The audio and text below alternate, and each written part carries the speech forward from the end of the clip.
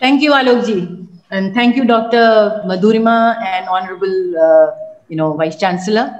Uh, I think it is very difficult to speak after Alokji has spoken. You, you tell me what have you not covered about the psychological and counseling area and the uh, very, very pressing problems of society and the realistic assessment of yours that what needs to be built into the system in order to do a therapeutic in the mind programming of the mind. So I uh, really thank you for setting the tone and giving us the primer related to all these leads. And uh, I will also touch upon uh, some of these because that was uh, my planning as well. And uh, as you said, that uh, there is no career counseling centers around many many parents i also feel they come to me they call me and they say that okay where i should send my child i have so many options you know. So more than child the parent is perplexed. Parent has a heart attack kind of situation where the child has to make a choice. So i always tell them i said rather than you understanding from me why don't you connect me to your child? Let the child understand from me directly that what options are there before the children now, this is where I think most of the stress has been uh, implanted. Most of the stress has come to children today, and this is affecting their mental well being due to our own pressures which are coming from society and uh, right the and also the instability of the situation because it is the not it is not the choices before choices have always been like this right? But it is the dealing with that choice and the interpretation which you have the, of the choice. Now, I will quote another example from my own very uh, family example that uh, teenager after completing 18 going wanting to go to a graduation what are the options left he declared at home i don't want to be a commerce student i don't want to get into engineering by any way I do not want to get into the, you know, arts. Now, three options are ruled out. Now, what do we do? Now, the traditional choices, the conventional choices at home were that either he has to be in one of those or the competitive exam and no other choice. Now, the matter was referred to me that he doesn't want to study at all. This was the parents' response to me, right? That what do we, what are we going to do with this kid who has refused to study for you know in the higher education on those streams i said okay let me speak to the child so i spoke to that person and i said what do you want to do if you don't want to do this very nice don't do it second one you don't want third one you don't want all options you don't want but is it something which you want so he said yes i want to have a graduation in music now music that was a shock to everybody at home that he will do a bachelor's in music. Now, what, what are the options? What are the career options? What will he do in life? How he, he will deal with the life challenges, right? And acceptance and perceptions and branding and everything came to everybody. And there was a hue and cry in the family again. So I again had to do the reframing. And I said, something which he is interested in, why don't we allow him to do that? It's a three year, four year experiment which a child wants to do for himself.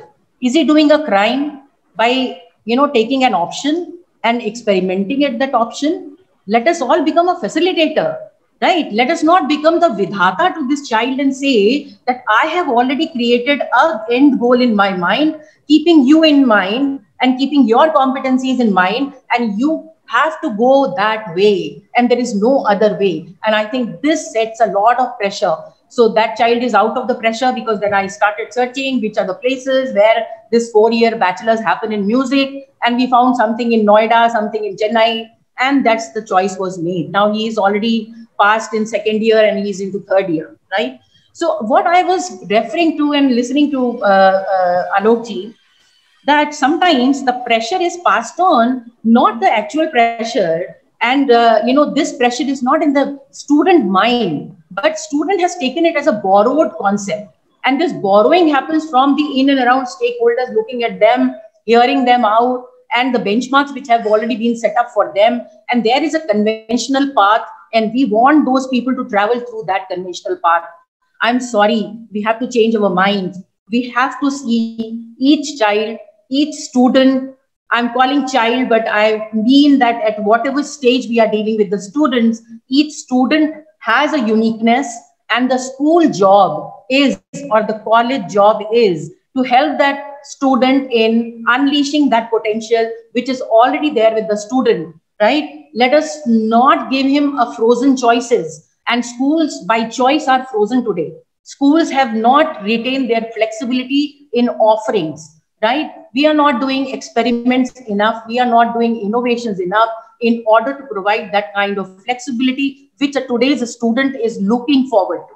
Now what to talk about career guidance? I have to deal with teachers. Now a happy teacher a healthy teacher a teacher who is already resolved her dilemmas can do betterment of the students and can contribute to the betterment of the teacher. I have found that now this uh, mental health problem, as you call it, I will not call it mental health, I will say mental well-being. And this mental well-being has to be, you know, thought through in an entire ecosystem. First, we need to deal with the teachers who need to actually contribute to this purpose. Purpose is very genuine, but how do we deal with the mental health, health of the teacher teacher today is so burdened teacher today again is to grapple with newer and newer realities and situations. And uh, if you look at this covid period you must have experienced yourself that how many of you had to redefine how many have, of you had to relearn some of your you know your own adjustment was so difficult in this trying and testing time right? And we are talking about students right? So student is very important aspect. We will uh, talk about student and much has been talked about the student aspect. I will refer to the teachers. That can we also take care of the teachers mental health?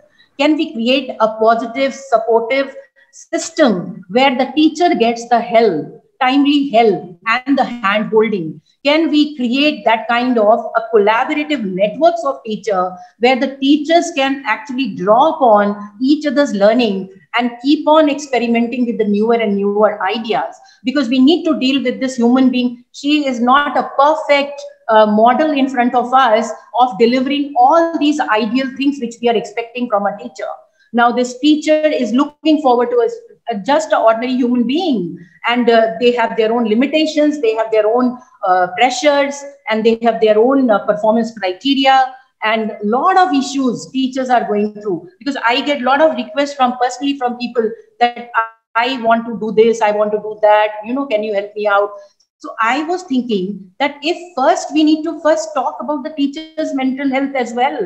We are talking about student mental health all the time right? But we have neglected this uh, uh, uh, aspect which is very important aspect that how a teacher feels right? How a teacher will deliver how the complexity the teacher is dealing with. What are the kinds of challenges a teacher is dealing with today if you look at the new education policy you're talking about the holistic development of the child you're talking about the multifaceted development of the child very true but what is the curriculum and how the curriculum has been designed right? If somebody has to actually make the changes, it is not the policy which will be able to implement the changes. It is the teacher. Teacher is the basic unit of change implementer. Teacher is the change catalyst. And therefore, I think today I will hammer on the importance of the teacher that we need to strengthen the morale of the teacher. We need to strengthen the well-being of the teacher. We need to look at teacher from a very, very, you know, like empathetic point of view and uh, uh, providing all kinds of support, which is never built in. Teachers also need to relearn. Teachers also need to unlearn. Teacher needs reskilling, upskilling, isn't it? But in our education system, when was the last time when the teacher did the upskilling? Yeah. What are the new things which are getting added? A, the, the syllabus does not allow us too much flexibility. Second, even if we realize that something new is happening, we do not have a flexibility to change on our own, right? There is a lot of uh, network which is around us, stopping us. And there is a comfort zone as well of the individual that why should I venture into something new? Because this is going to uh, a new challenge to all of us to adapt to this new challenge and also uh, uh, augment some new competencies in all of us in order to deliver. Today, the much more NEP is now talking about multi-pronged strategy, multi-pronged pedagogy in the class Now, how will that happen? Multi-pronged strategy. Mostly our classes are designed one way, right? Are we going to continue with this one way where the student sitting in front of us, we do not know that who is making sense out of it and who is not making sense out of it, who is interested, who is not interested. And then you take a end-term exam and you pass the student that your purpose is solved. Can we do assurance of learning in a little different manner? Can we really chalk out the purpose of the course right in the beginning and attract the student with that purpose rather than the syllabus, right? So with a whole lot of new methodologies, new pedagogies have to be experimented uh, much has been talked about that uh, social emotional aspect of the student. Now, social emotional aspect learning has to be integrated in the classroom, right? How do we do that? Because, uh, uh, uh you know, now we are talking about multidisciplinary nature of the schooling system, college system. Now, in that, you realize that one class of student, only one class of methodology and we have already related it in that manner that this can be taught only in this fashion. Now, this has to be broken. Now, all these new things, new experiments, new kind of vision, a teacher and the school has to create. And then comes the role of that, okay, how do we treat this entity which we are calling student in that manner rather than talking about that we need a lot of counseling, a uh, lot of, uh, you know, uh, not only career counseling, but mental counseling to adjustment uh, uh, uh, you know uh, to do the adjustment to the school.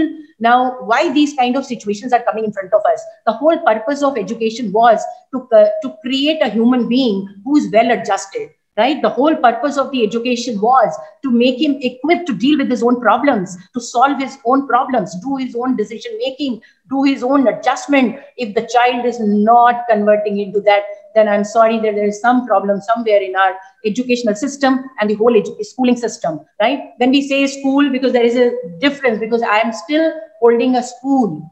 I call it business school, right? So my, my lingo may go more into school rather than calling it a college or university or anything. You know, I also studied uh, uh, uh, clinical psychology at some stage in my bachelor's and uh, in my master's as well. And I wanted to be a clinical psychologist somewhere sitting in NIMHANS or VIMHANS and doing some uh, counseling. And that was very close to my heart, right? And then I landed up in IIT Kanpur and I had no choice but to convert myself into a management teacher, right? I'm sitting here as a management teacher. But whenever I get time, I def definitely get back to those individual counseling sessions, personal counseling, right? I, I really enjoy that. And this is perhaps my uh, plan that I will link up with. You have a counseling cell. Uh, we have a counseling cell here in IIM Lucknow as well. Uh, now the question is that the typical counseling cells are they making sense right? We have so much stigmatized them that nobody wants to approach them. 32 years ago or 33 years ago when i was in IIT kanpur doing my phd there used to be a counseling cell. We used to be the student volunteers into it along with the teachers mentors. But uh, it was so much you know preventing people to directly approach the cell because there is a stigma attached. So and so sought help right? And you sought help for what that was all the more you know you're not supposed to tell anyone. So we need to create normal sense of mental health. We need to create more kind of propagation and awareness in the society wherever we go uh, whenever we get time that this is very very normal thing to have. If you are depressed it is normal right? Most of the people around this depressed person makes him more depressed. I have seen that because you tell them something something abnormal happened to you. You shouldn't be depressed. No, it's perfectly right. You can be depressed. You can be stressed at times. Take it as given, take it as normal, and definitely seek out for help and reach out for helping others. But then, first of all, acceptance that accept them on par. The moment you have a divide that there are children who are mentally strong and there are children who need help, we have already created a divide there. And when we create this divide, students do not want to belong to this set or that set. So a lot of time we have seen that if you look at IIT Kanpur counseling cell today, and I, I looked at that, uh, it has grown multifold. It has become more digital, more accessible to students at their command, at their time, at their wish. and also multiple kinds of uh, helps are provided to a student.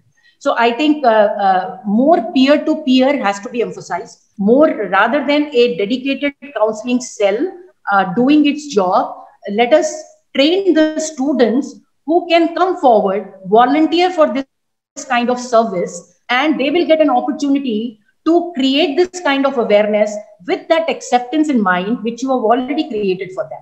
And I think I look forward to that kind of society. I would look forward to that kind of colleges, that kind of class where everybody can go together. So that's what we can say, uh, you know, Sarve Bhavantu Sukhina, and we talk about all those philosophies. That's that that pays off because we need to now walk the talk. Enough we have known. All these things are remaining in our cognitive map, but they have not translated into action. Still, there is a lot of stigma in society. If somebody is autistic, right uh, you you may be having somebody in your uh, uh, relations or anywhere that an autistic child has to go to a college right? Do, are we prepared for that autistic child to provide that supportive environment where he can get the equal right to education? I'm sorry we have not right? Look at how difficult it is for the parents to make a choice that where and how do we send and to our kids. There are schools who are not providing an attendant along with the kids you know because these kids need to specially bring attendants. And attendants are not allowed in the classroom right? Now that itself is a binding factor. You talk about career counseling but you first make this environment which is accepting environment and which is looking forward to environment which is giving equal access to everybody. And then we reach out. Then it is inclusive uh, you know policy and then it is inclusive reach and every student will get an equal opportunity to grow and unfold his, his or her own uh, you know uh, uh, potential. So this i think comes to me as a very very significant point.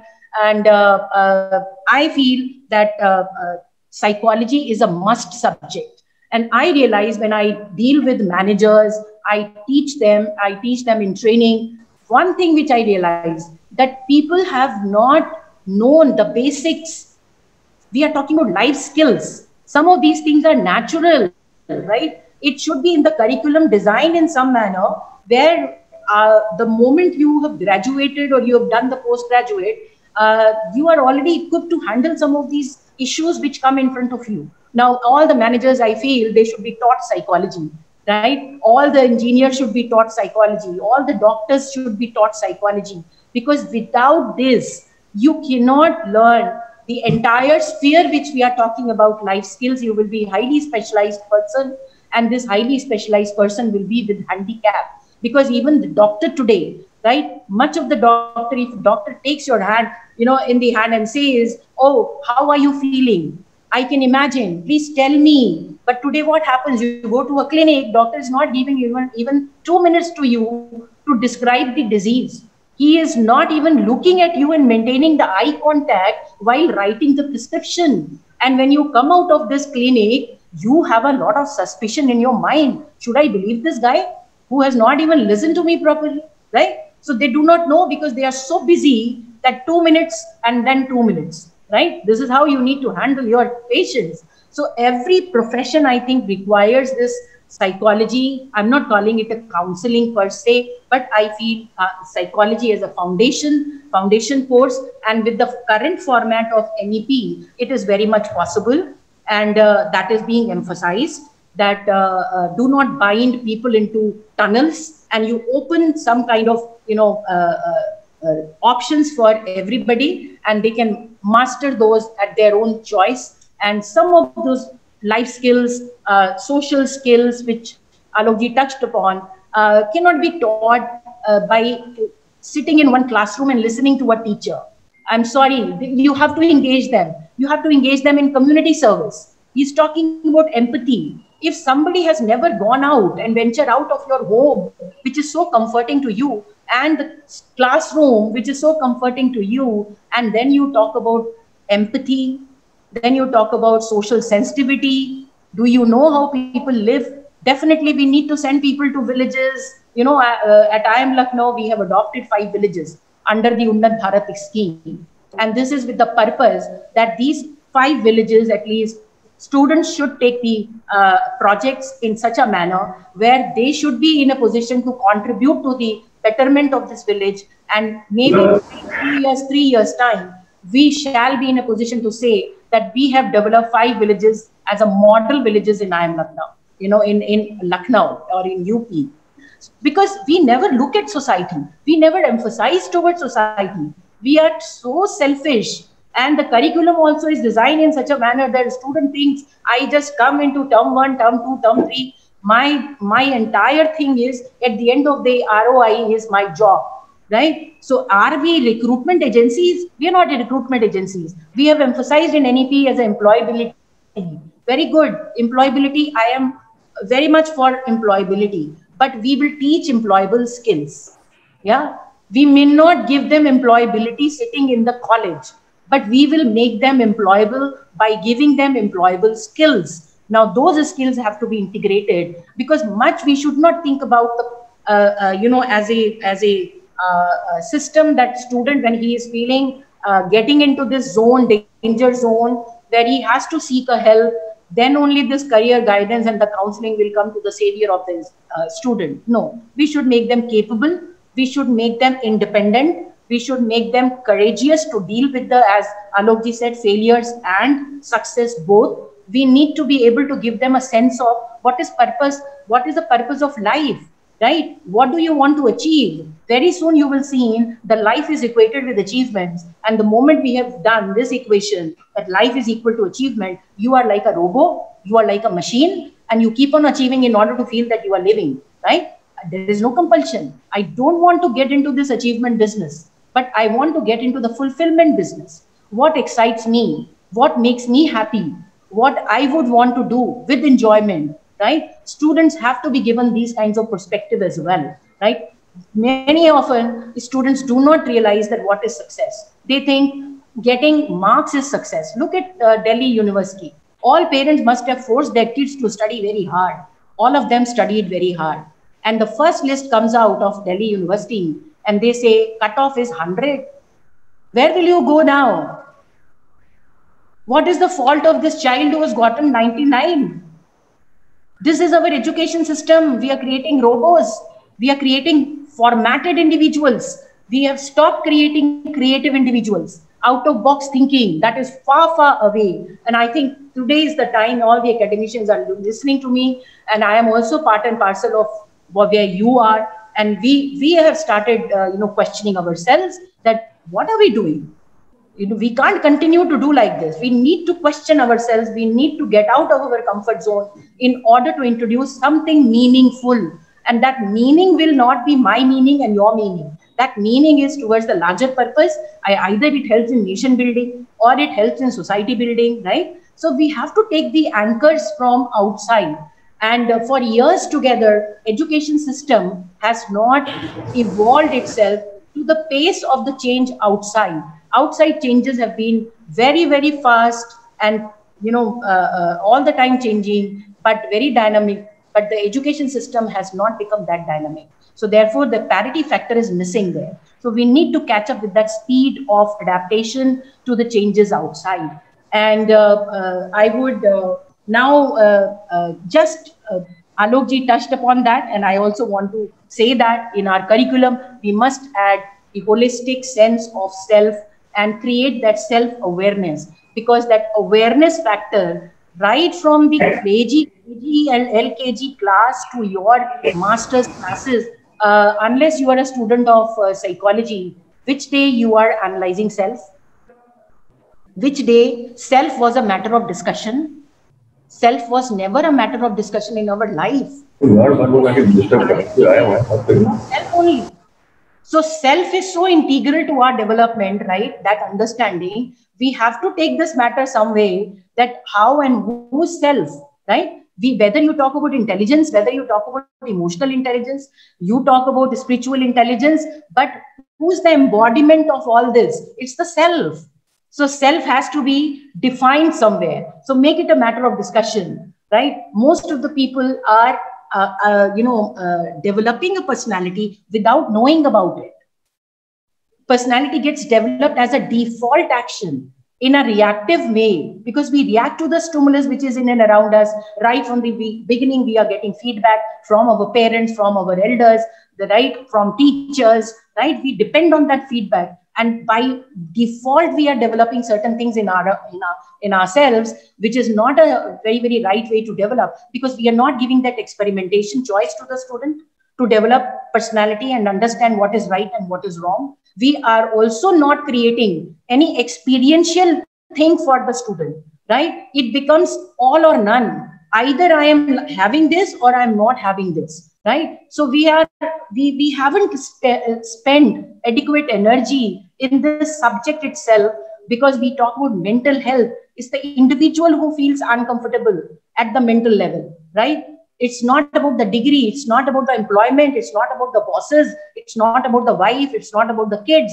It is you. Now that you is so sacrosanct that you need to spend time in analyzing the content of you, right? And this is where I think uh, read more on your own. I will talk about the Panch Koshas, which I am sold to. And, uh, you know, uh, the, the entire self concept today when I teach in classes, in my training classes, in my other classes, I definitely integrate this Eastern view in of personality in my classes uh, and draw the parity with our uh, traditional frameworks because there is no question of putting them in contrast to each other, right? They complement each other. So I bring in that complementarity between the two frameworks. And this is where I say most of us are dealing with the self at only the physical level and we try and groom ourselves we try and feed ourselves right all that so this is known as uh, you know the annamay kosha so annamay kosha is the awareness which everybody carries all the time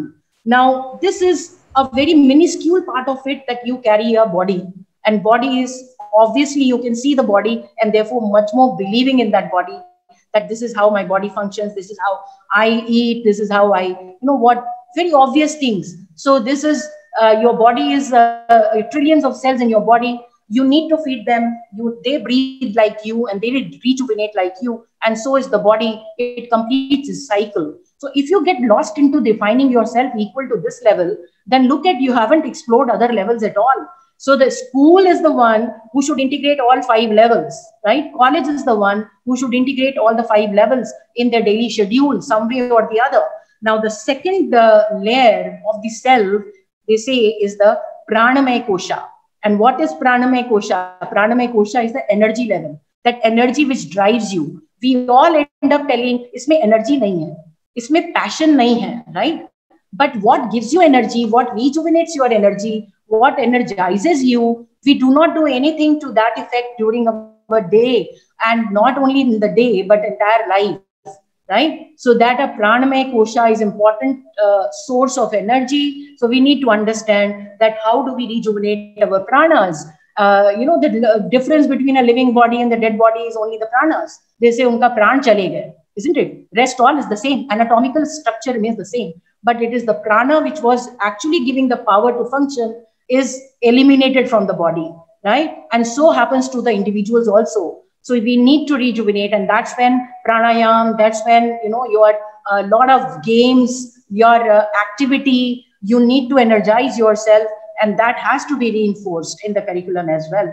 And the third layer, they say, is the manomay kosha, which is mind. So the mind, as you said very rightly, that you can't control your mind if you want to and whenever you want to. It is again a practice. We need to understand that in manomay kosha, uh, how many thoughts we keep creating much of the disease much of the mental illness or or uh, mental well-being absence of mental well-being happens to be because of your thoughts only it's the cognition which gives you all these beliefs and the way you believe you start believing and you start acting accordingly isn't it? And nobody can change that. If you think i'm not good for this job then i'm not good for this job. Now you created a thought which has created a belief and then you reinforce that belief and the others also give you the same feedback. Teachers also evaluated you lesser in the class. Now this becomes a pakka belief and you say i am good for not this job right? You don't even try that job. So manomay kosha is how do you control your thoughts? How do you alter your thoughts?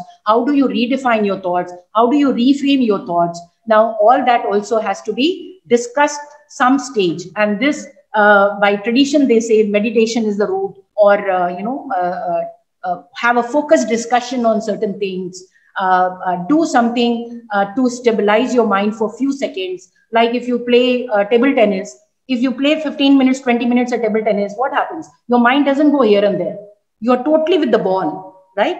And you're not fixing your attention here and there. So find some activity which gives you that concentration on fewer elements without being uh, you know, uh, uh, focusing attention on something else. So that's the third layer. And the fourth layer, they say, you need to get to that level. And that also has to be integrated if you want to have the holistic understanding of yourself, is the Vigyan Kosha. And Vigyan is the knowledge, is the wisdom. And today, what happens in schools and colleges, I'm sorry again to say, use this word, that we are dumping knowledge. Yeah, we are dumping right? We have prepared something and we want you to listen to that, right? And we will also test you on that. So this is dumping. We only feed the student. We only burden the student with information which they don't want. So we haven't made the classes excited enough and we have not created that a sense of excitement in the class where a student start creating his own or her own model based on what you are telling them or give them opportunity to create and recreate. So that has stopped. And therefore uh, this level lot of uh, uh, you know things are there in the minds of people which is which are interfering at the mind level and therefore it shows up on the body level right so this is the kind of uh, focus. And the last layer they say that uh, from wisdom now the longing for what more what more can go away and you can actually be satisfied contented and that's the bliss. That's anandamay kosha. So you're not searching all the time for some achievement to be happy. You will be happy doing things in the right way and what you are supposed to do because you are clear about the purpose, you are clear about the goal, and you know why you did this and why you did not do the other things. Now, that has to be integrated as a daily schedule, and that has to be the pattern of thinking. And the schools can add this, and schools can help the kids uh, in some manner or the other to integrate all the five layers of the self, I think that will be a big achievement. And then the student doesn't need you day to day. Student is having that much of power and energy to deal with their dilemmas on their own, right? They are doing it. See, how many of us are telling them in digital world how to deal with digital world? None of us are competent. And nobody comes to us, isn't it? All their digital problem they solve themselves. Look at the power of learning. They are very, very superior learning now. You know, their, their genes have been mutated enough to that uh, cycle where they have evolved. And uh, they don't need too much of a generic uh, uh hand holding and guidance. They are smarter lot. We need to deal with them very, very smartly and very, very differently. So this is what I think I have to end with. And uh, thank you very much. And it was pleasure talking to all of you. Uh, this is not a simple problem. In COVID period, I think we need to get back to the uh, not. Uh, we had the counselors coming to campus, and then we had to graduate to digital mode. And uh, now the, each student has access to that uh, platform and at their own level because COVID has taught us that how critical was the mental well-being to refer to if you wanted classes online if you wanted the preparedness from the students to be taught online, if you wanted the teachers to be prepared to teach online, isn't it? All of it was not a simple transition for all of you as well, I think. And it, it has been a very testing time for all the educational systems because during Corona, everything was in lockdown. Only the education systems were the front warriors and dealing with this challenge day in and day out. And we came out very strongly out of these five last five months and six months and it has given us again a very very strong conviction to believe that whatever is the intent of the NEP policy uh, we shall be in a position to uh, integrate it in better manner and uh, serve the purpose right. So thank you very much. If you have thank you very much dr professor Archana Shukla for an absolutely wonderful exposition on the subject